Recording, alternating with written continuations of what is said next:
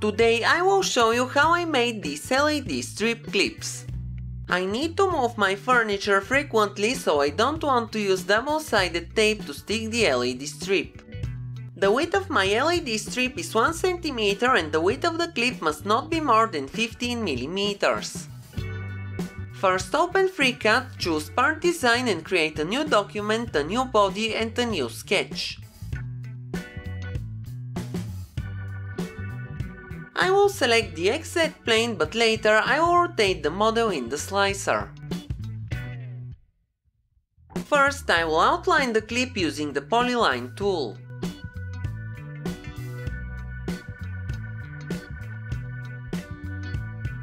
After the outline is done, I will set the dimensions.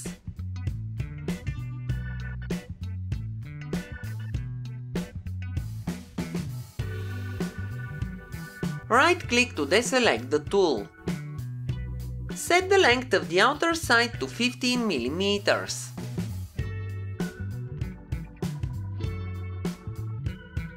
The inner side will be 11 mm.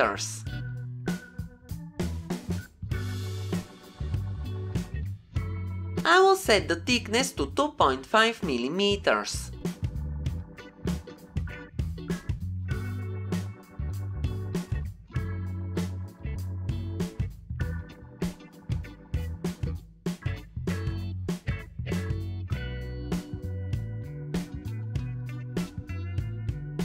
Now I will set the vertical distance to 2 mm and this will center the inner side.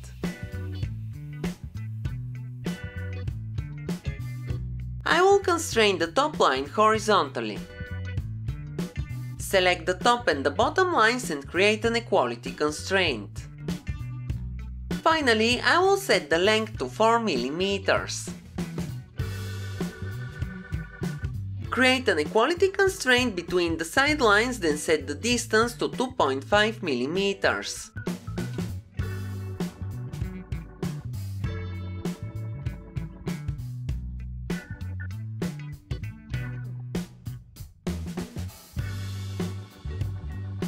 Select the endpoints and set the vertical distance to 8.5 mm.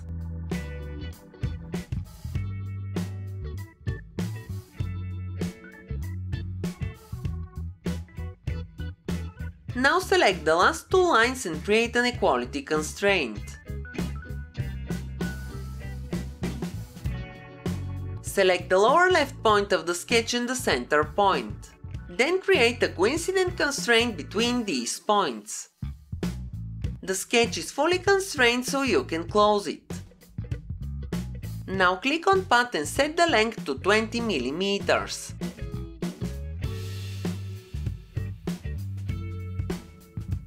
It should look like this. I will use small nails to attach the clips to the back of the furniture so I need to make a small hole in the center. Click to select the back face and create a new sketch. Click on the external geometry button then at the top and the left side. Right click to deselect the tool. Now draw a circle in the middle. Set the diameter of the circle to 2 millimeters. Now select the top left and the lower right edge of the clip and the center point of the circle, then click on the symmetry button. This will put the circle in the center. Now close the sketch and click on Pocket.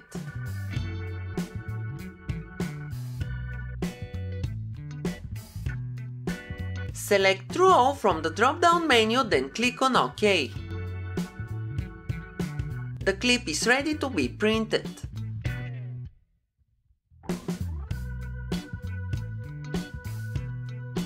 Click on Model, then select the body and export it as a .stl file. Drag and drop the file in your slicing software.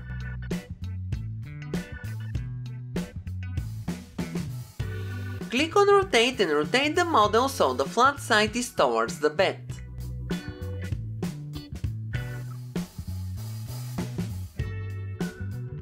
I will now click on clone and add some more of them so I can print them at once.